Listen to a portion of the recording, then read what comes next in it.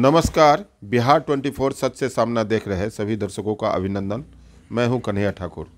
आज एक दुखद हृदय स्पर्शी घटना के बाबत जानकारी दे रहा हूँ। फुलपरास थाना क्षेत्र की यह घटना है। सड़क हादसे में दो छात्र की मौत हो गई। दोनों छात्र पढ़ने के लिए जा रहे थे। शुक्रवार को यह घटना हुई। खोपा चौक से पश्चिम एन एच पर बाइक से पढ़ने जा रहे दो युवकों की सड़क दुर्घटना में दर्दनाक मौत हो गई। प्रत्यक्षदर्शियों की माने तो यह मौत बड़ी विभत्स थी। जानकारी के अनुसार दीपक कुमार भंडारी 22 वर्ष के हैं। उनके पिता रामनंदन भंडारी ग्राम बिशुनपुर के रहने वाले हैं एवं सागर झा 23 वर्ष, उनके पिता सुमन झा ग्राम बैका के निवासी हैं। दोनों छात्र बाइक से झंझारपुर कोचिंग में पढ़ाई करने के लिए घर से निकले थे। जब वे एन एच संतावन पर खोपा चौक से आगे गुजर रहे थे, तभी अज्ञात वाहन ने पीछे से ठोकर मार दी। बताया जाता है कि कुहासा के कारण यह ठोकर लगी होगी।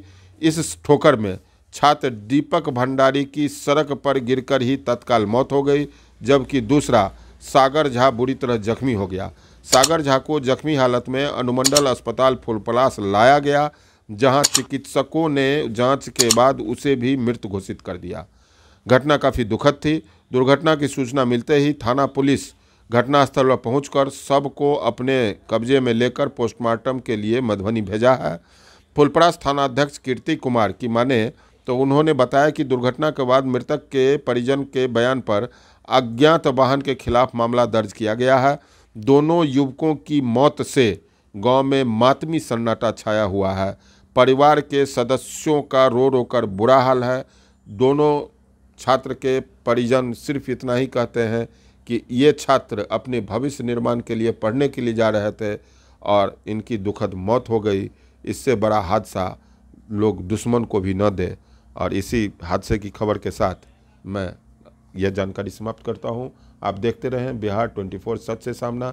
चैनल को सब्सक्राइब करें, लाइक करें। धन्यवाद।